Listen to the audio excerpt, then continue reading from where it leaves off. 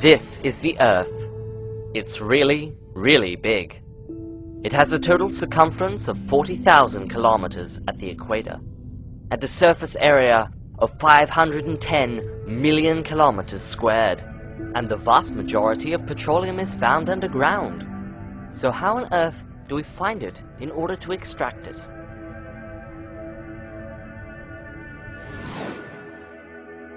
Geologists can use a variety of different methods to locate oil even when it resides deep beneath the Earth's surface. The most common method of locating oil is via seismic survey. Essentially, geologists use a variety of different tools to emit sound waves, which then delve into the Earth's crust, some of which bounce back to the surface. A computer can then interpret these sound waves and create a detailed three-dimensional image of the various geological formations beneath the surface, thus providing the approximate location and amount of oil in any given oil reservoir. If the oil is worth extracting, we then go on to the next stage of the petroleum industry, drilling. Before the oil can be extracted from the reservoir, a well must first be drilled. This well is created during the second stage of the petroleum industry, drilling. In order to carry out drilling operations, a temporary drilling rig is constructed. The large derrick allows for a pulley system that can support a long drill pipe attached to the drill bit. A turntable turns the Kelly, which is attached to the drill pipe, to allow the drill bit to drill. As the drill bit plunges deep underground, drilling fluid is pumped down through the drill pipe to wash the rock cuttings out. The resulting mud returns to the surface and passes through a shale shaker, which removes any unwanted solids from the mud. The mud is then poured into a tank, where it is then used as drilling fluid to remove further rock cuttings.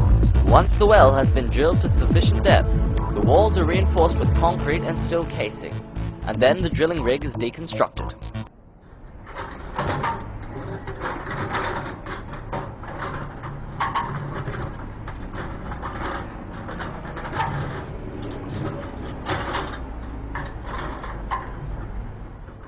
The next stage of the petroleum industry is production.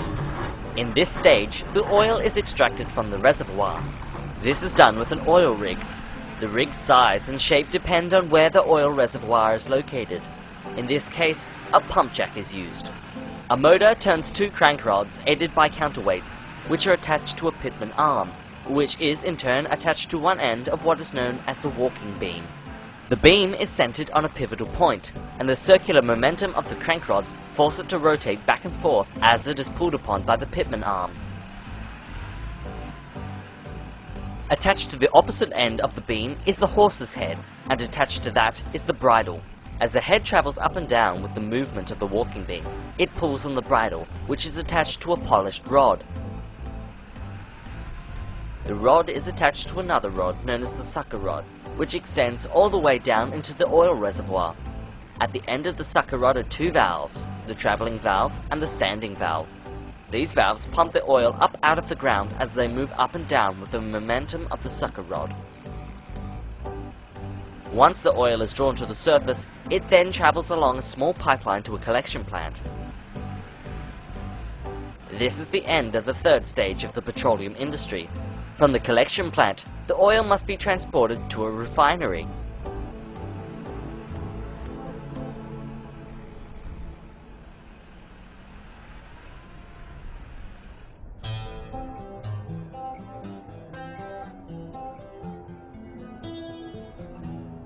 The fourth stage of the petroleum industry is transportation.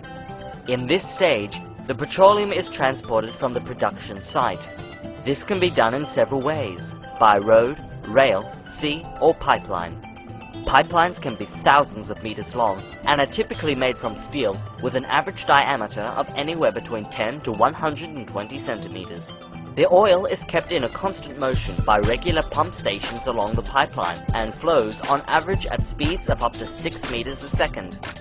The oil's final destination is the refinery, where the last stage of the petroleum industry takes place.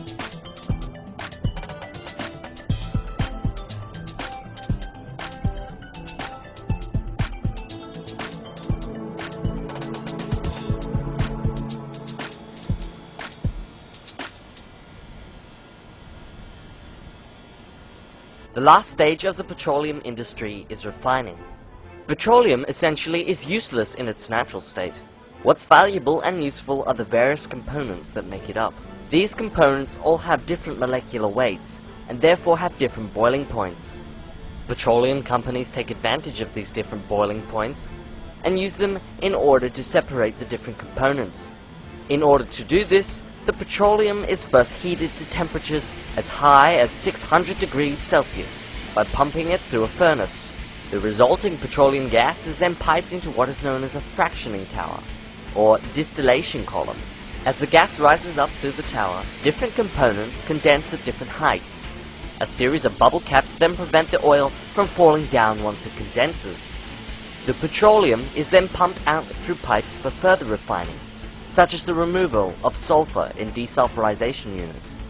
Sometimes the heavier elements of petroleum are broken down into lighter, more useful components, using a coker or hydrocracker. The major products resulting from petroleum refining are liquid petroleum gas, gasoline, naphtha, kerosene, diesel fuels, fuel oils, lubricating oils, paraffin wax, bitumen, and petroleum coke.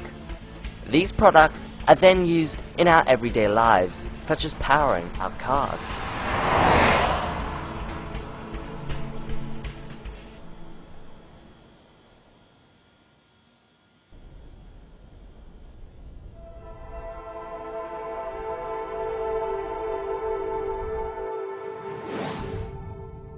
Petroleum is a non-renewable resource, and so it will not last forever. It is estimated that the Earth's oil supplies will finally run dry towards the end of the century.